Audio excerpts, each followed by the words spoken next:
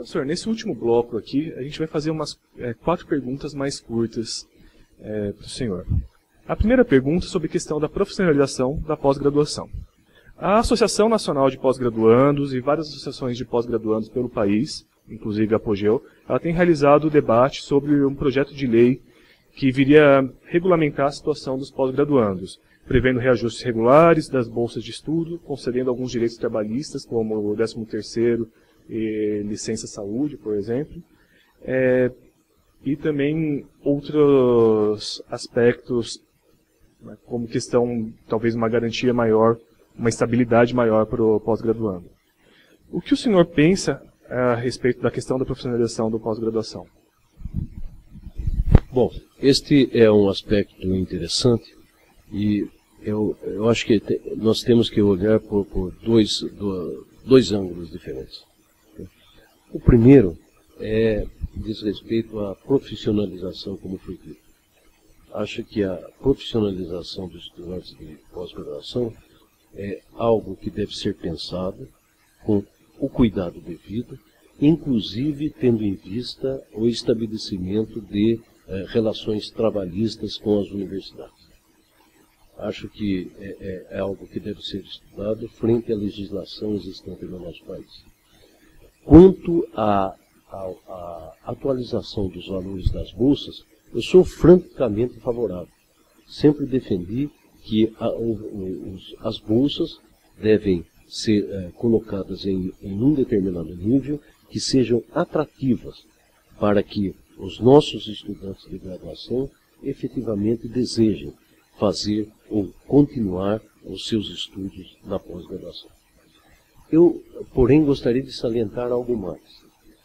Acho que a pós-graduação ela tem uma, uma, outra, uma outra questão a ser discutida enquanto profissionalização. Veja, nós formamos hoje 10 mil doutores em todo o país. Apenas uma décima parte deles chega de fato à indústria. É importante que elevemos este percentual de 10%.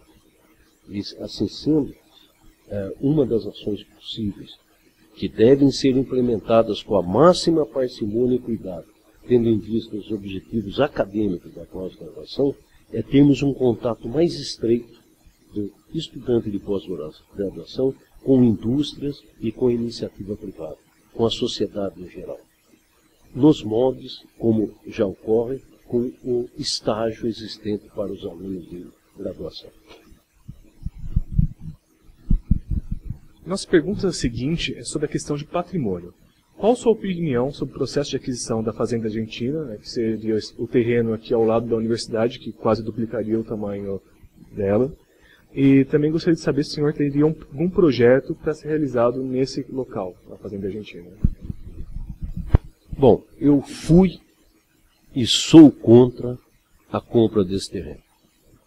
Se eu uh, me tornar reitor ganhando, sendo colocado pela comunidade em primeiro lugar nesta consulta, eu tentarei e farei a proposta ao Conselho Universitário de reverter esta decisão.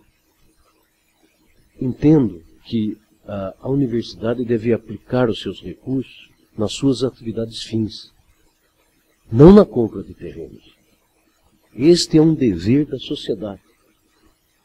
Prover os meios básicos para que a universidade se desenvolva e ofereça a todos cursos de qualidade, formando pessoas e também desenvolvendo pesquisa de alto nível. Saliento nesse aspecto que muitas e muitas cidades gostariam muito de ter uh, uma, uma, uma unidade da Unicamp lá instalada. E tenho certeza que poderiam oferecer à universidade toda a infraestrutura necessária para que isso venha a ocorrer. É isto que eu defendo. É entrar em contato e ter um contato com a nossa sociedade para prover a infraestrutura que a Unicamp precisa. Sou contra, portanto, a compra desse terreno. Nossa terceira pergunta desse bloco aqui é sobre a questão de acesso livre a publicações científicas. é, tem sido recentemente foco de grande discussão a liberação de acesso a publicações científicas para pessoas gratuitamente, né, de forma que seria um modelo diferente do modelo atual, no qual para a pessoa acessar as publicações, os artigos, ela teria que pagar uma, uma inscrição, né, pagar a assinatura do periódico, que acaba consumindo valores altíssimos na Unicamp, é acima de 10 milhões de reais, por exemplo. É, então, a nossa pergunta para o senhor é, o que o senhor acha dessa política de acesso aberto a publicações científicas? Qual o papel que o senhor vê para a Unicamp e para a sua comunidade de pesquisa com relação a essa política? Também se o senhor pretende estabelecer alguma regra para a universidade com relação à sua política de publicação e pesquisa. Né, como já foi feito por algumas universidades, como a Universidade da Califórnia em São Francisco, é, e também por agências de fomento como o NIH nos Estados Unidos e também a conselho de, os conselhos de pesquisa do Reino Unido, que acabam colocando como obrigatório ou preferencial a publicação em periódicos abertos. Essa seria a nossa pergunta para o senhor. Bom, eu acho que devemos sim incentivar, mas não tornar obrigatório a disponibilização e o acesso aberto da pesquisa realizada na nossa universidade. Acho que isto, uma, uma, a, a possibilidade de termos o acesso aberto, depende de cada autor, depende de cada docente. É nesse sentido que eu vejo, a, a, a vejo essa, é, essa questão e é, no sentido de, de, de, de, dizer, veja, isto é importante, é importante que a, que a universidade disponibilize abertamente aquilo que ela faz, mas reconhecendo que isto deve ser uma, uma decisão daquele que produz a, aquele resultado, ou seja, dos nossos docentes e dos nossos alunos de, de graduação e de pós-graduação. Uh, digo, uh, gostaria também de mencionar o seguinte: tem uma preocupação de deixar em acesso aberto a, a maior quantidade possível de aulas que ministramos na nossa universidade acho que a Universidade Estadual de Campinas, por ser a melhor universidade do nosso país, ela deve sim dar o tom de como se ensina a, aqui dentro, dar o tom de como desenvolvemos, em particular, as nossas atividades didáticas. Professor, a nossa última pergunta aqui é sobre a sua candidatura a reitor. É, por que o senhor está se candidatando a reitor? O senhor foi pró-reitor de pós-graduação durante a gestão do professor Hermano, é, e depois disso apenas foi ser, for ser, representante docente no Conselho Universitário há dois anos, mais ou menos. É, também a gente gostaria de saber quais as diferenças da sua candidatura com relação às demais candidaturas e à reitoria atual, e por que o senhor considera a sua candidatura como a mais preparada para o cargo de reitor da Unicamp? Bom, eu quero dizer que sou candidato a reitor da Unicamp porque entendo que a universidade necessita de mudanças, mudanças reais e importantes. Eu sou candidato a reitor da Unicamp porque eu sou uma pessoa independente, sem amarras. Sou uma pessoa que não participa deste eh, grupo uh, político que governa a nossa universidade já há mais de uma década. Eu desejo ser, eu sou candidato e desejo ser, ser reitor da Unicamp porque tenho um compromisso com a academia, com aquilo que é de mais importante no seio de uma universidade como a Unicamp, que é o seu desenvolvimento acadêmico, científico, olhando para todas as pessoas que aqui trabalham.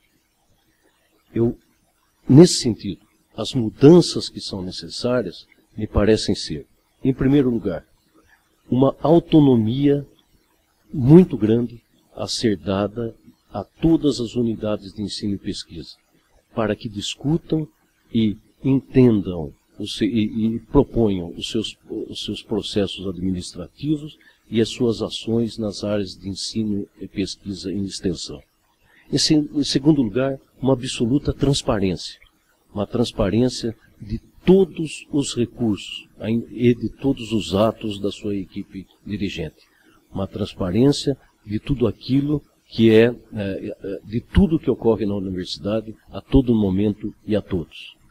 E finalmente, como terceiro ponto, me parece essencial que a, a coloquemos como uh, no centro das decisões da universidade pessoas com grande, uh, grande, grande contribuição acadêmica, pessoas que de fato foram absolutamente importantes para colocar a Unicamp no lugar que ela hoje ocupa. Finalmente, desejo dizer que tenho uma trajetória de vida que, me, que acredito que me qualificam para me tornar reitor da Unicamp. Essa trajetória de vida fará com que a academia, certamente, sem nenhum tipo de outra visão que os aspectos acadêmicos e os aspectos humanistas sejam aqueles que nortearão todas as decisões que serão tomadas nos próximos quatro anos. Em nome da Associação de Pós-Graduandos da Faculdade de Engenharia Elétrica e de Computação, eu gostaria de agradecer muito professor Jeromel pela sua presença aqui. E também gostaria de convidar todas as pessoas que estão assistindo a assistir as outras entrevistas no nosso canal do YouTube. Professor Jeromel, muito obrigado. Eu é que agradeço.